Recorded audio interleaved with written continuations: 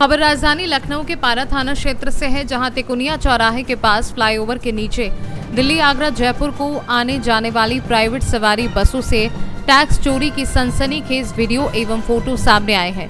व्यापारियों द्वारा दिल्ली आगरा जयपुर आने जाने वाली प्राइवेट सवारी बसों का सहारा लेकर बड़े पैमाने पर जीएसटी की चोरी की जा रही है, किंतु जीएसटी विभाग बेखबर है। ये नज़ारा तिकोनिया चौराहे के पास फ्लाईओवर के नीचे प्रतिदिन देखा जा सकता है। जहाँ लाखों के माल प्राइवेट बसों में लादे एवं उतारे जाते हैं। कुछ बसों की हैरत में डालने वाली ऐसी कई तस्वीरें सामने आई हैं, जो जीएसटी विभाग पर कई सवालिया निशान खड़े कर रहे हैं।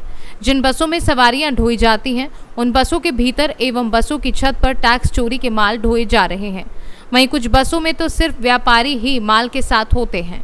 टैक्स चोरी का गोरख धंधा खुलेआम चल रहा है, जो जीएसटी आयकर सहित परिवहन व स्थानीय पुलिस के लिए दुदारू गाय साबित हो रहे हैं। वहीं प्राइवेट सवारी बस संचालकों की सरपरस्ती में ये गोरख धंधा। दिन दूनी, रात चौगनी, फल फूल रहा है। बस संचालकों द्वारा बसों की छतों पर इतना माल ओवरलोड कर लिया जाता है, जो कभी भी दुर्घटना का सबक बन सकते हैं। किंतु बस संचालकों की सवारियों की जान की कोई परवाह नहीं है।